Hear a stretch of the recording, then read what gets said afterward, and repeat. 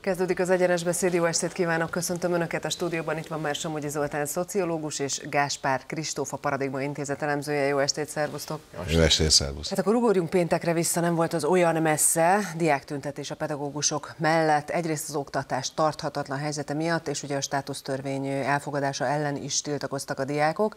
Kezdődött a parlamentnél, és a Fidesz székházenál végződött.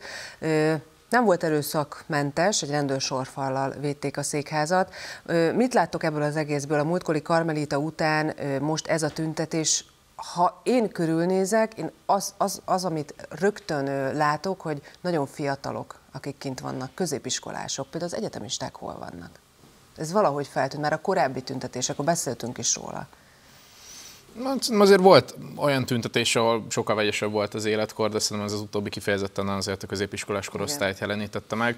Szerintem egyszerűen ők a legelsős számú érintettjei ennek az egésznek, ami most a közoktatásban zajlik.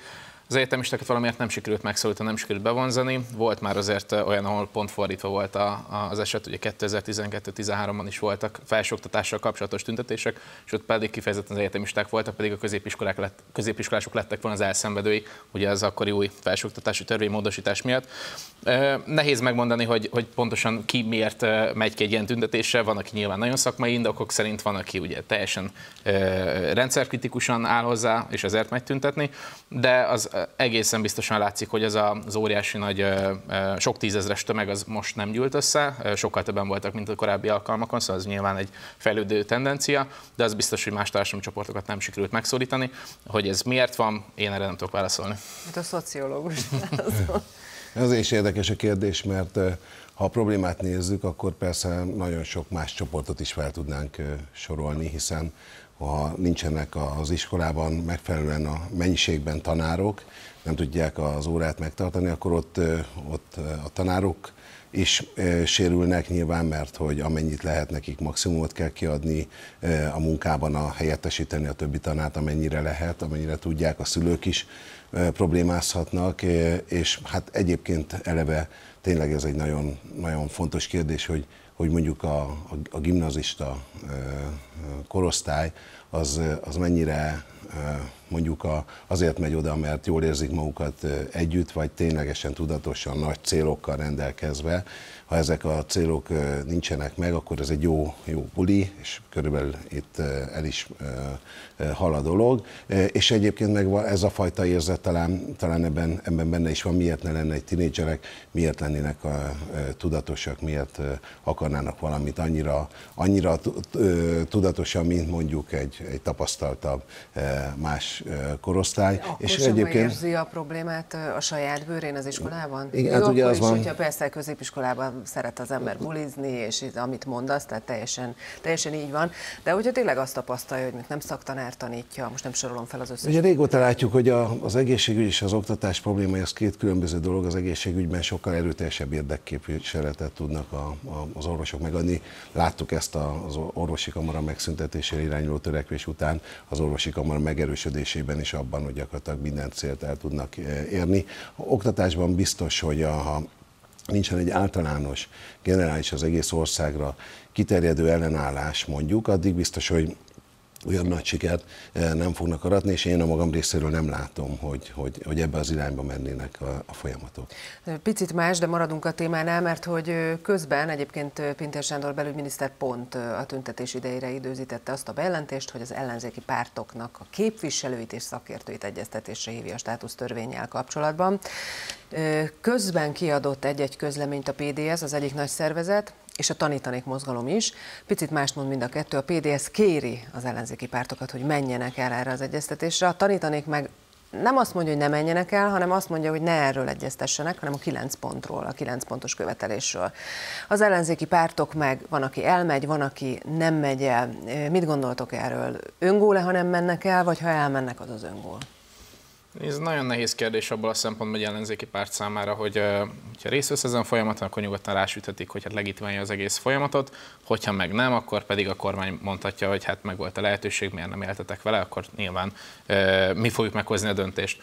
Azért egy nagyon álságos és, és valóban problémás az egész státusztörvény, vagy státusztörvény nevezett gyakorlatilag egy ilyen döntés előkészítő folyamatban vagyunk most az utóbbi néhány hétben, hónapban, mert hogy a kormány ugye megpróbálja eladni azt az üzenetet, hogy hát itt egy valódi érdekszervezeti egyeztetés van, itt valóban szakmai indokok alapján történik ennek a törvényjavaslatnak a kidolgozása, és majd azt követően nyilván lesz egy másik vita az országgyűlésben és annak az elfogadása jobb esetben, mármint hát demokratikus keretek között és jogállami keretek között ez meg szokott történni. És ugye rengeteg példát láttunk, és ez valóban az oktatás esetében is láttunk rengeteg ilyen példát, amikor voltak egyeztetések, meg voltak hívva a különböző érdekképviseleti szereplők, és teljesen másmilyen típusú törvényjavaslat került be a ház elé, és aztán egy teljesen másmilyen törvényjavaslatot fogadtak el egy adott esetben utolsó pillanatos módosítóval. Tehát nagyon nehéz ebből a szempontból a helyzet. Én azt gondolom, hogy jól teszik a pártok, hogyha legalább tájékozódni megpróbálnak, hogy mit akar a kormány, egyéb fórumokon is, nem csak a nyilvánosságban, és az viszont valószínűleg egy, egy jó, hogyha jó cél lehet, hogyha ezeket a követeléseket megpróbálják valamilyen szempontból érvényesíteni, nem fogják tudni, de meg kell próbálni, szerintem ebből a szempontból nem járatnak rosszul.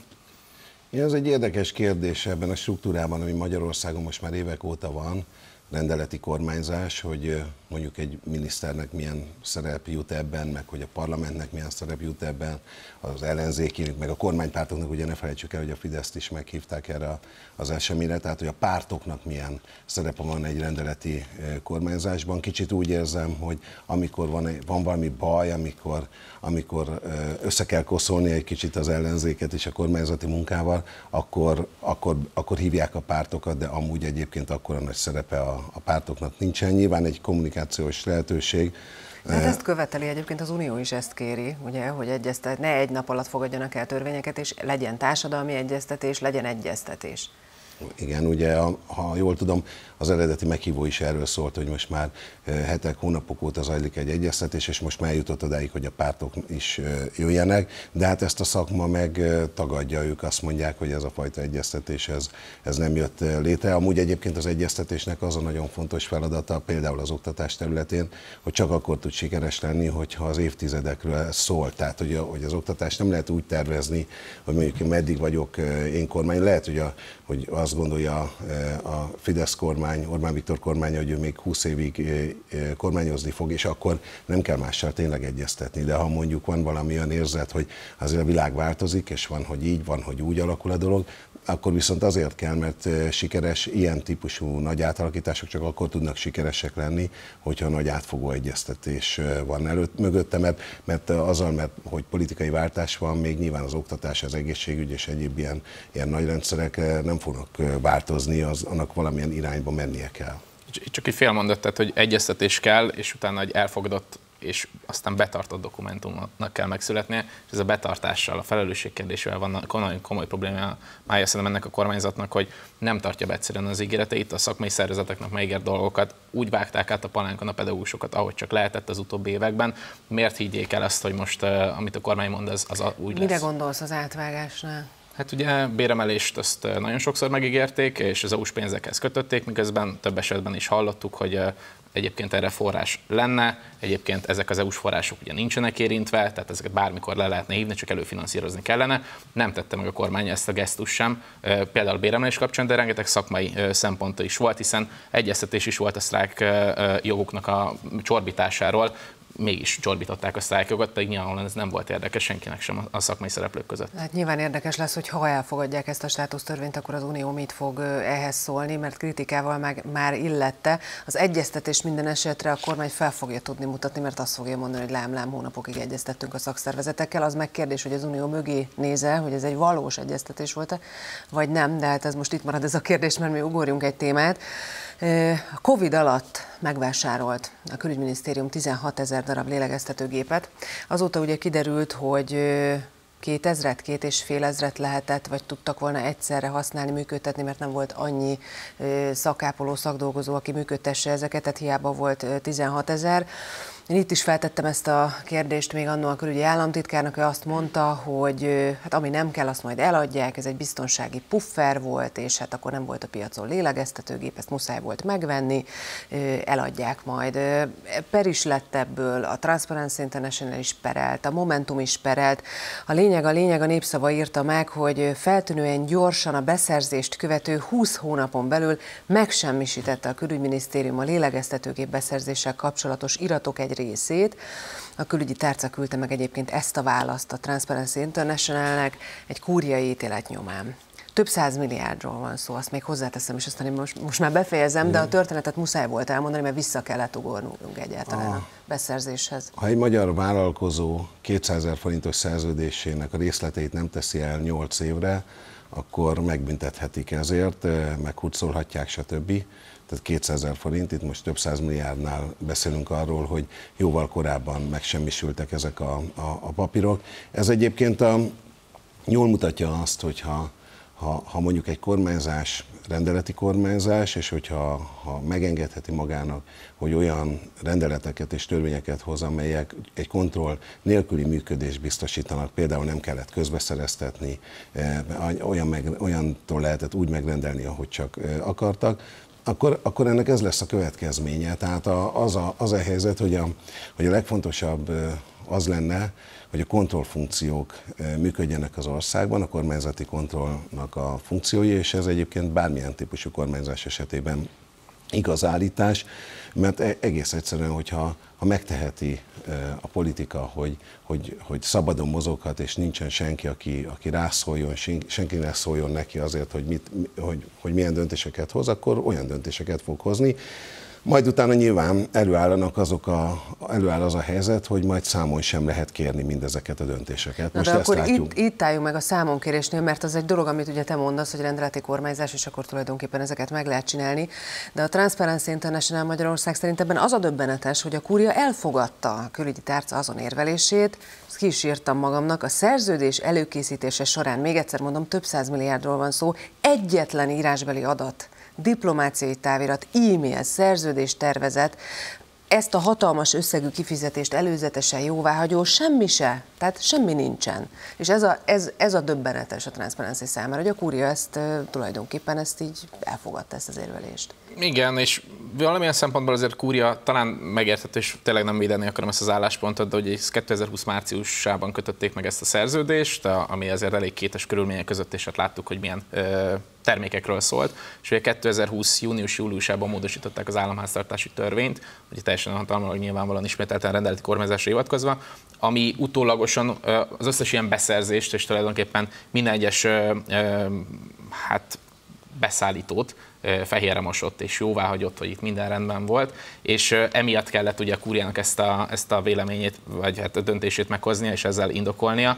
Szóval nyilvánvalóan itt a kormányzatnak a felelőssége az elsődlegesen, a kúriát ebből a szempontból valószínűleg jobban utána kellett volna ennek menni, és nem, lehet, hogy nem kellett volna elfogadni akár jogi érvek alapján sem ezt a, ezt a típusú kormányzati érvelést, de a helyzet az, hogy a kormányzat tulajdonképpen megcsinálta azt, amit hát lekerekítette, mint egy jó mafia, ténylegesen fehérre most, amit kellett. Nyom, nyomozati monopóliuma van az ügyészségnek, tehát hogyha valaki nyomozni, vagy kormányzati ellenőrzési hivatalnak, vagy olyan intézményeknek egyébként, amelyek így a kormányzat irányába nem működnek. Tehát erről beszéltem, hogy, hogy, hogy gyakorlatilag a, nem tudjuk megmondani, hogy most a kormányzat nyugaton ki milyen kontroll gyakorol Magyarországon.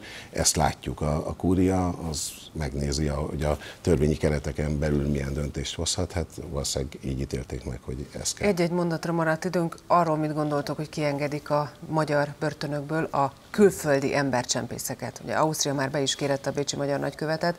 Azt mondják, hogy szigorítani fognak a határát, kellően több mint 2000 embert engednek most szabadon köztörvényes bűnözőket, embercsempészeket. Hát, a kormány azt mondja most már évek óta, hogy ő, ő, ő csak Magyarország védi az Európai Uniót, meg Európát, a nyugati világot. Hát most ezzel szerintem pont egy elég nagy sebet ejtett azzal, hogy bűnözőket szabadon engedett, akik azért ítélték el, vagy azért kerültek börtönbe, mert hogy sértették az Európai Uniónak a területi integritását azzal, hogy embercsempészet, embercsempészetet folytattak. Szóval ez ismételten olyan szituáció, amit a kormány szerintem vétetetlen. Kormány számára csak hát megint az elszámoltathatóság az itt jön be, bekiretik a nagykövetet, aztán nem lesz semmi ebből. Ja, kitessékeltük, mondta a külügyminiszter, csak itt nem az ország határon kívül tessékelték ki, hanem a börtönkapunk kívül, és ígéretet kellett adniuk, hogy 48 órán belül elhagyják az országot, hogy hogyan, milyen módon, azt nem tudjuk, hogy elhagyták, nyilván arról nem adnak jelentést, hogy merre hagyták el, arról sem. Eléggé furcsa dolog ez. Köszönöm, hogy jöttetek. Köszönjük. Köszönjük.